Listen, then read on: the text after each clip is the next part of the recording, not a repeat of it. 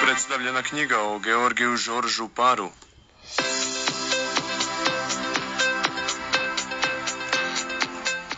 U atriju Palače Sponza u Dubrovniku u sklopu Dubrovačkih ljetnih igara prošli tjedan održana je promocija knjige i dokumentarnog filma o redatelju Georgiju Žoržu Paru.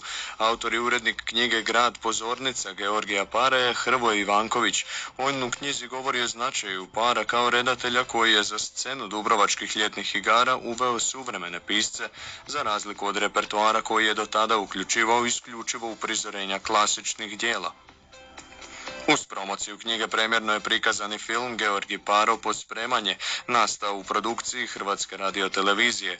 Govori redateljica Gradskog kazališta Zorendom i velika Žoržova prijateljica i suradnica Sanja Hrnjak. 2012. godine Georgi Paro i ja započeli smo intenzivnu umjetničku suradnju kroz predstavu Biljama Šekspira na Tri kralja. Na taj način se Paro ponovno vratio u svoj voljeni Karlovac. Upravo zbog toga što je i svoju prvu i svoju završnu fazu svog grandioznog umjetničkog opusa vezao za Karlovac, Hrvatska televizija me kontaktirala za snimanje dokumentarnog filma o njegovom životu i radu. Premijera tog filma, premanje urednice Lade Đidić-Barić i redatelja Siniše Bajta, kao i predstavljanje knjige Grad pozornica, održana je u Dubrovniku. Tako su i knjiga i film o njemu predstavljeni na zaista najbolji mogući način. U prekrasnom ambijentu Palače Sponza, kakav i priliči kazališnom knezu, kakav je bio gospodin Georgi Paro. Kamen, otvoreno nebo, palača. Prostor dostojan uprizorenja, umjetnosti i života za mene, najvećeg kazališnog redatelja.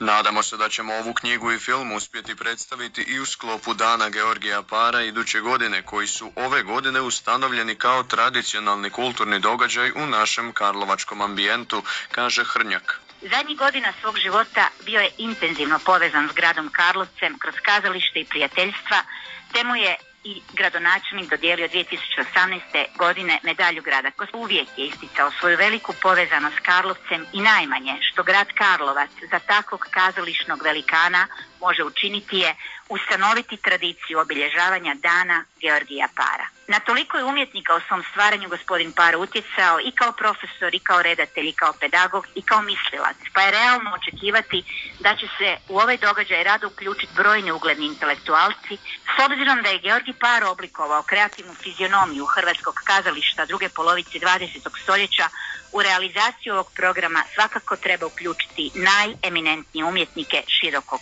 spektra. Svoje dojmove iz Dubrovnika s nama je podijelila i ravnateljica Zoren doma Irena Božičević.